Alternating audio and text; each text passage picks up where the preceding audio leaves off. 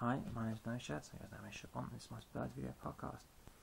Um, very quick, you know, apply to um, EW Union and to P. John Nine, who spoke about my Spurs Bolton preview.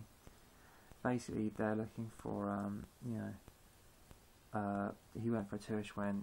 You know, obviously, it was just one out, and you know, and I, I and I thought the same thing. I thought it would be really tight, and if Cahill had still been on the pitch, yeah, I think it would have been that tight. Um, P. Said, look, you know, he'll play probably like rest Lennon, play Rafa on the right. You know, you know, he played three games in a week. You know, more of injuries. And I think, you know what? I don't know. I really don't know. Lennon's the kind of player that, because because his age, the more he plays, especially with Walker, and I think, obviously, it was a risk of burnout and injury you know, with, with any player. But I think the more those two learn to play each other, and the more Len does play as an ins- as the inside out winger with with Benny on the overlap, I think the better it is for both, you know, for all four of them.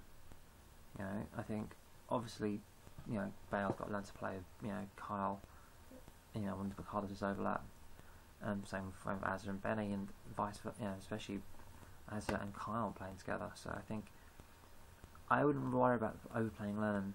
Obviously, injuries happen to any player, but definitely I think he benefits, and definitely there's less pressure on him. So that's just my response to that.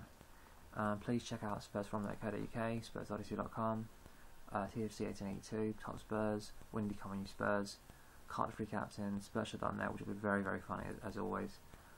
And uh, yeah, please click on the ad links, help me a few pennies. And as always, please respond. I'm always happy to respond to any of your comments. Thank you very much. Take care and good night.